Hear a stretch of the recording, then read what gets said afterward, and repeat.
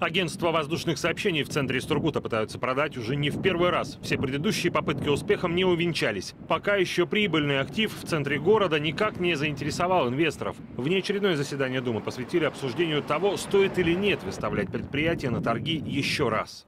Приватизация пакета акций планируется путем проведения аукциона в электронной форме. Начальная цена продажи пакета акций, согласно отчету об оценке, установлена в размере 317 миллионов 369 тысяч рублей.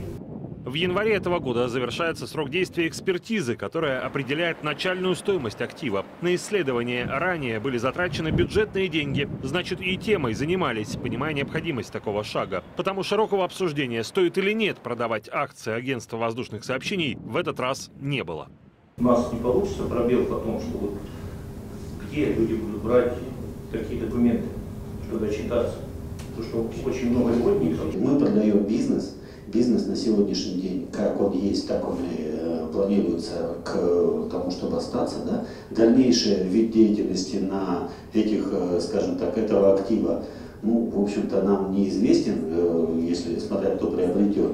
А вообще, я сказал, альтернатива, вот э, получение, мест получения, скажем так, билетов, либо справок, я вам сказал. Справку о стоимости билета можно получить непосредственно э, у того перевозчика, у которого, которым вы, скажем так, летали, либо ездили.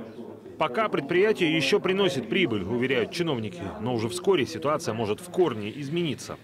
В связи с тем, что большинство сервисов у нас уходит, э, ну, скажем, в, онлайн, да, и в какие-то в другие, скажем так, виды деятельности, не связанные с прямым посещением людей, агентство Аэрофлота, ну, агентство вообще в принципе, да, то э, мы в дальнейшем э, прогнозируем падение прибыли и, как следствие, буквально в ближайшей перспективе, там, 2-3 года, уход, э, ну, на, сам, на самом деле в минус.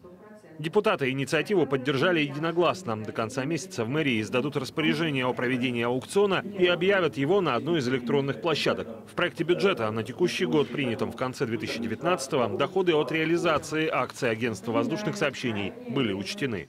Мы надеемся, что э, все-таки найдет своего покупателя этот объект. Цена достаточно весомая, 300 с лишним миллионов рублей. И, конечно, мы бы хотели получить эти деньги для того, чтобы в этом году уже реализовать еще больше э, социальных и других проектов в городе. Деньги нам нужны, вы знаете, что это и придомовые территории, это и дороги, это и инфраструктура, это и комфортная городская среда. То есть куда деньги потратить в городе есть. Поэтому надеемся, что состоится конкурс. Прошлом году администрация Сургута реализовала другой актив – здание центральной аптеки на проспекте Ленина. Для рецептурного отдела фарматочки приобрели помещение на другом проспекте Мира. Ремонт там с опозданием на несколько месяцев все же начали, а открытие пока планируется на конец апреля.